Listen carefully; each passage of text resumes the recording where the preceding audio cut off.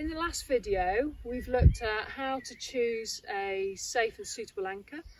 And we're now going to look at how to attach onto that, put ourselves in the system to the point where we're ready to then safeguard the client down the steeper ground.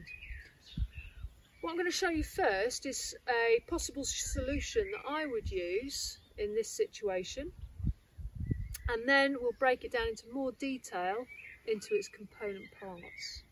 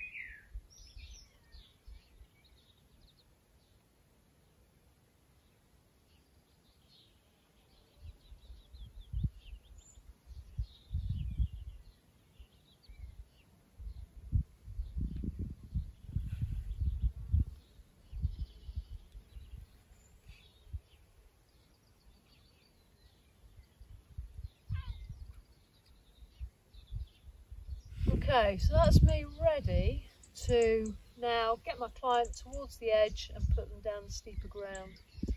So with all of that then, we're now going to look at each of those component parts in more detail. So that being tying onto the anchor and a variety of ways of doing that and also a variety of ways of putting ourselves into the system. In that last clip, you've seen me use an overhand knot, and that's the most common one that you will use as a mountain leader. I'm going to show you how to tie that on a bight. So double the rope over, take your hand down. At this point, I'm just going to check the tail and make sure that it's a hand span, so that distance. The reason for that, if it's too short, it could work its way back through the knot. If it's too long, it gets in the way. Where my hand is, that's where I want the knot. So I'm going to make a loop, pop the end through, pull it tight. And at this point, I'll just do another check that the tail's the right length. And now I'm going to dress the knot. So I'm going to cinch it in and pull on each strand individually. We call that dressing the knot. What that then gives me is a loop that could either go around my waist or around a spike and a boulder. I'll now show you how to use that to put around this boulder which I've chosen and I know is solid and safe to use. I'm Going to need a bigger loop so let's take a bit more rope. There. That's where I want the knot. Just going to check the tail make my loop, pop the end through. I'm going to keep the knot loose to begin with as I put it around the boulder. Sit it down nice and low, make sure it's in the right position. This is the direction I want to use it.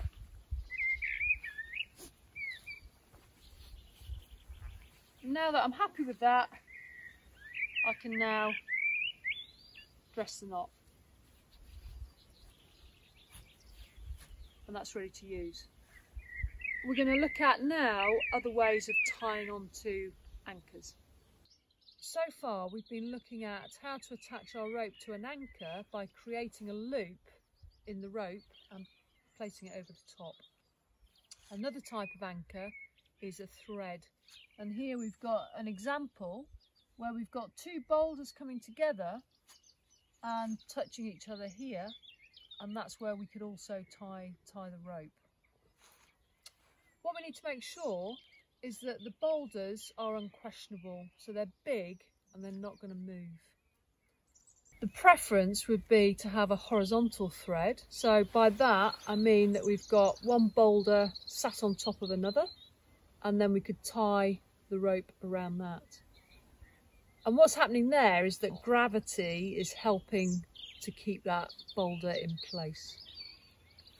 we're now going to have a look at how I'd use the rope to tie around that thread. In order to get my rope around that thread, I've now got to tie an overhand knot, but differently to what we've been doing.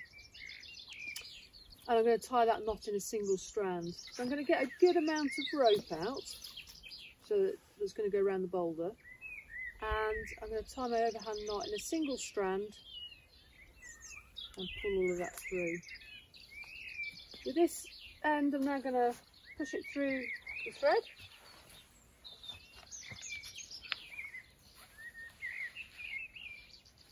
Collect at the other side.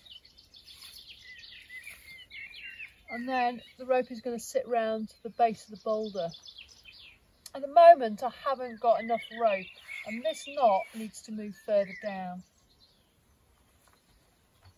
So that's simple to do in that I can roll it down the rope.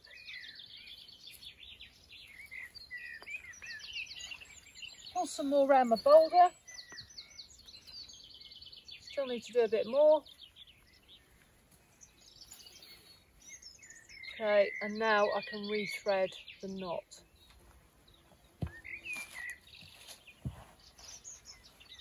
To do that, I've got to, with this end, follow the rope around the knot. So I'm going to go into the knot exactly where this side comes in. Pull that through.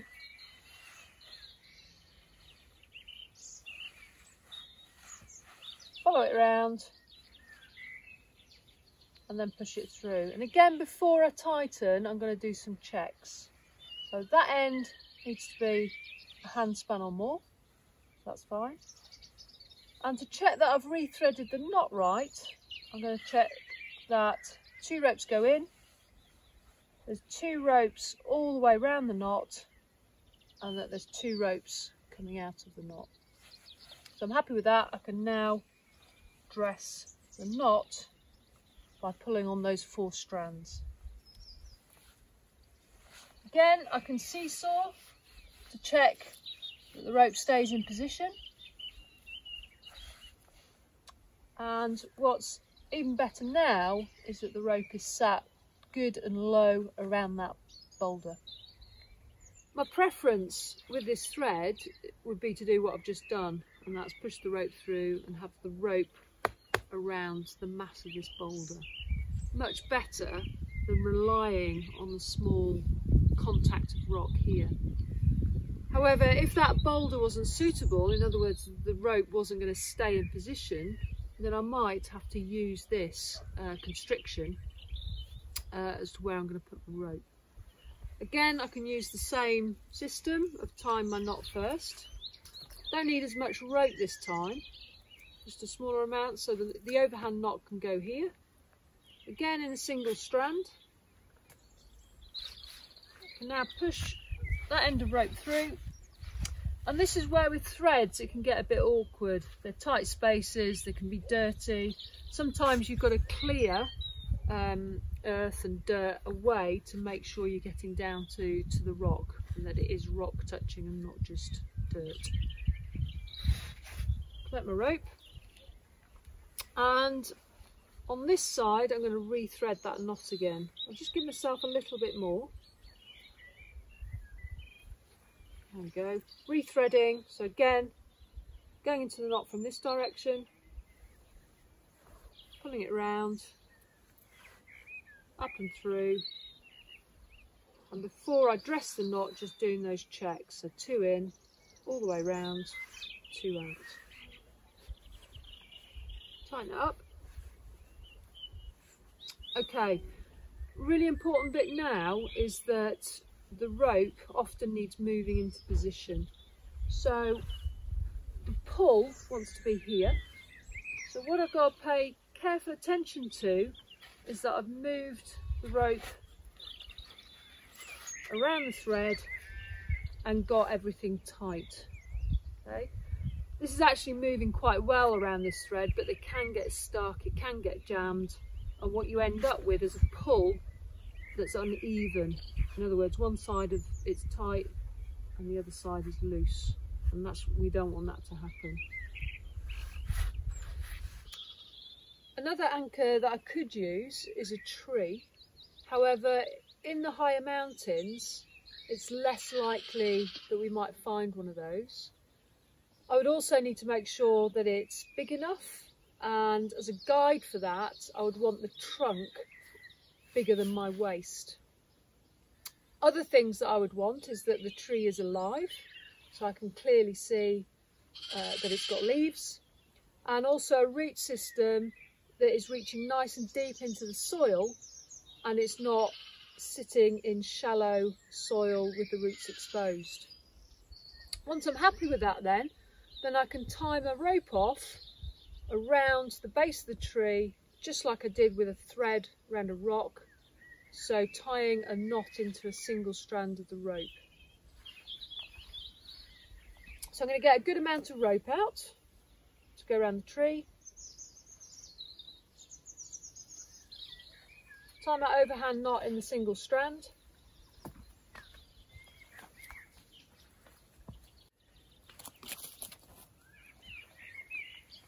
So I'll collect the rope from the other side.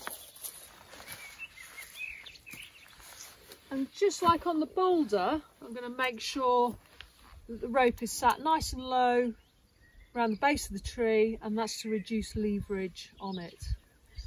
Ideally what I want now is for that knot to be sat around about here and that is so that this angle is less than 90 degrees. If I tie my loop too tightly, then we start to get quite a great angle and that will start to pull the knot apart. All I need to do, move the knot down here, got enough rope, and now I can rethread.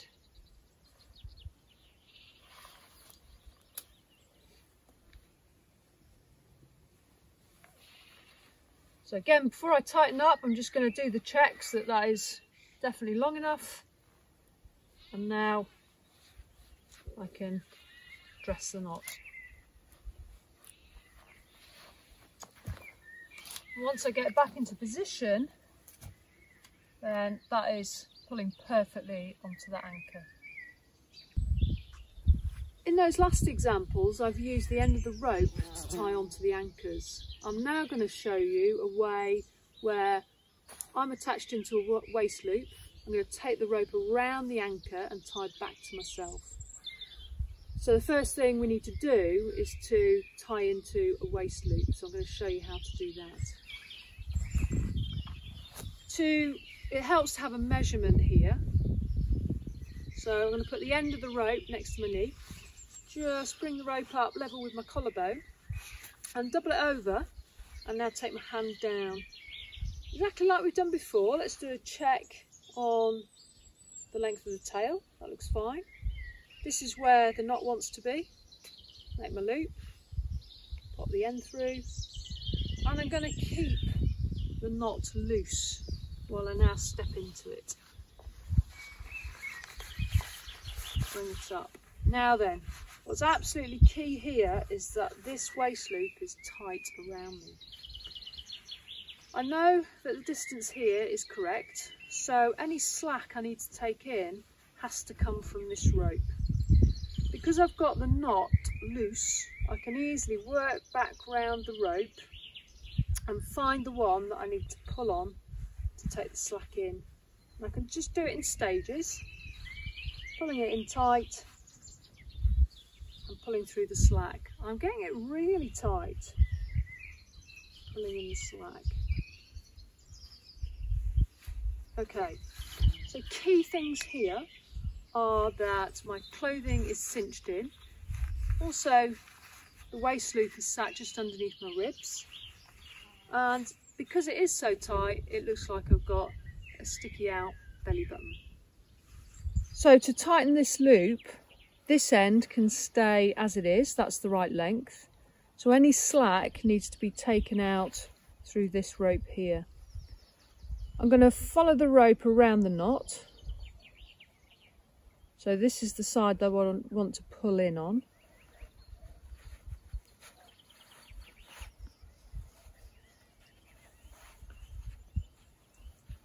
That's all the slack taken out. And I'm going to pinch with my th thumb and first finger. Because the knot is still loose, I can then pull the slack through and tighten it. And at this point, I'm going to dress the knot and pull on both ends. This might look ridiculously tight, but it's really important because I don't want this riding up and then squeezing air out of my lungs, or if it's too loose, it might drop down over my hips. We're now going to look at how I would then put that rope around the boulder. Before I attach into the anchor, I've identified where the best position is for me to sit to manage the rope. The most important thing is that everything is in line. And by that, I mean that my anchor, that me as a belayer and that where I'm going to send my client are in a straight line, what we call A, B, C. I've also chosen a place where I'm comfortable and I can brace my feet.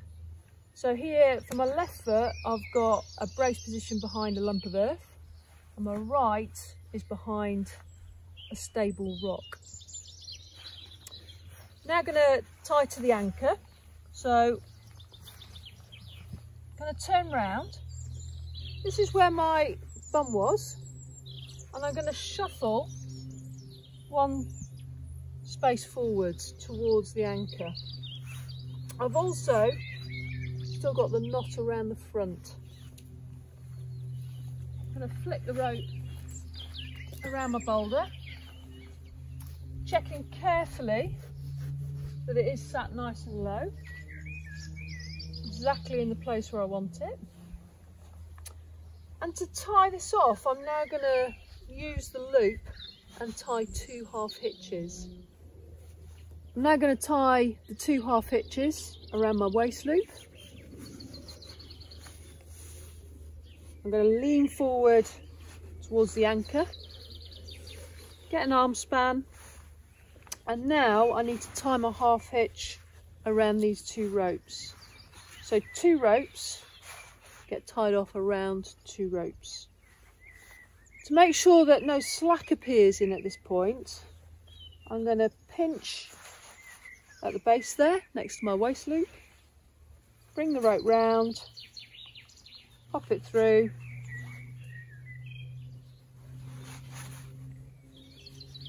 and then roll the half hitch in nice and tight. Same again, take it round both ropes, through the hole,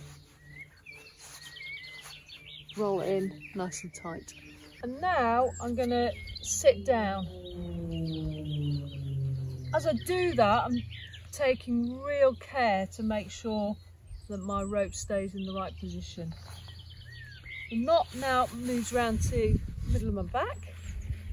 And now I can shuffle forwards into my position so that my feet are braced and it's really tight at the front on my waist.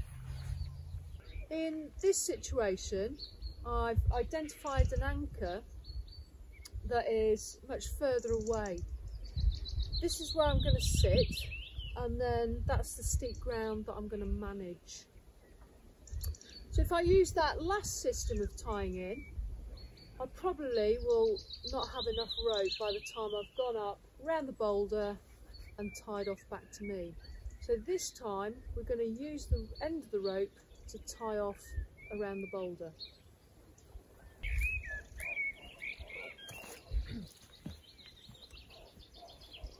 This is where I want to sit, so that's where my bum's going to be. I'm going to place my foot at the back of where my bum would sit on the ground. I'm then going to bring my fist in line, pulling nice and tight on that rope. And from there, I'm going to make a loop. Tie my knot. So my knot is in line with my foot. I can now step into the loop. And before I sit down, I want to make sure again that my waist loop is nice and tight. I know this is the right adjustment here. So this is the rope I want to take the slack in with. I'm just going to loosen the knot again to make that adjustment easier.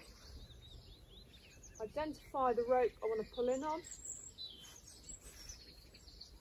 Do this in short sections.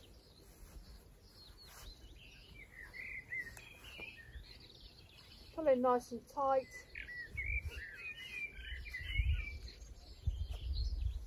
Take in the slack and now I can move knot around to my back. And then when I sit into position, I'm really tight on the rope. Here, I don't have the brace positions I can use my feet with. So I am just on flat ground. So it's really important that I'm absolutely tight on this anchor because that is what's going to stop me from moving from my position here. With that last method, some people can find it quite difficult to get the exact tension on the rope. So this is another way that can make that easier. I've got the same anchor tied off in the same way. Again, this is where I want to be sitting. So when I collect my rope in, rather than tying my loop from here, I'm now going to take an arm span, drop the spare rope, that's where I want to tie the knot. So from there, I can make my loop.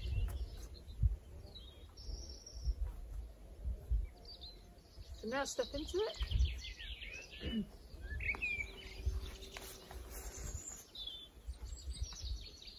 and still using this rope that's going towards the other end I'm going to use that to make the adjustments on my loop. The knot is still nice and loose. Identify which rope I want to pull in on. Do it in stages.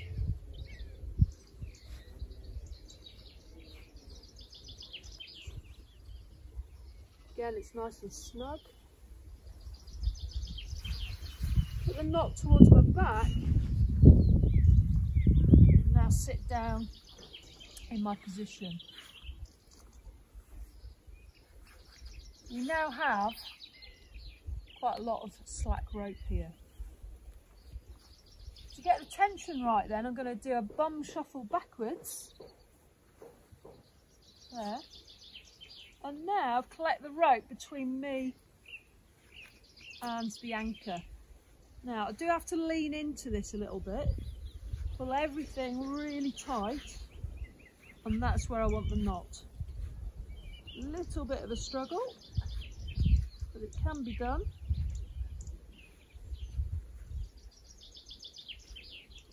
There we go. And now as I shuffle forwards again, that puts me really tight on the anchor. I've been saying that the anchor, belayer and client need to be in line. So we're now going to look at a demonstration that shows why that's so important. What we're going to look at here then is the anchor, the belayer and the client and how that alignment works. Here we've got the, uh, the big rucksack acting as the belayer and we can, hopefully you can clearly see that it's not quite in alignment. So I, as the client, line up nicely with the anchor, however the belayer is off to one side. What that means then is that if I, as the client, slip off and weight this rope, look what it does to the belayer's position.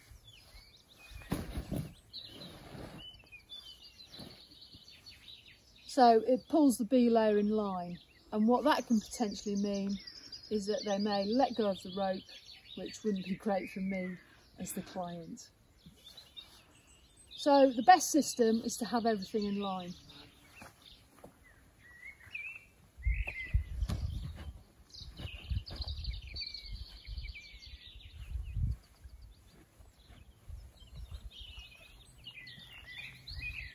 Now then we have anchor, belayer and client in line.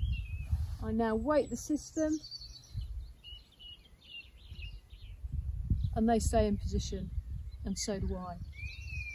What's also really important is that the rope between the anchor and the belayer is really tight and the rope between the belayer and the client is also tight and therefore we get no shock loading in the system.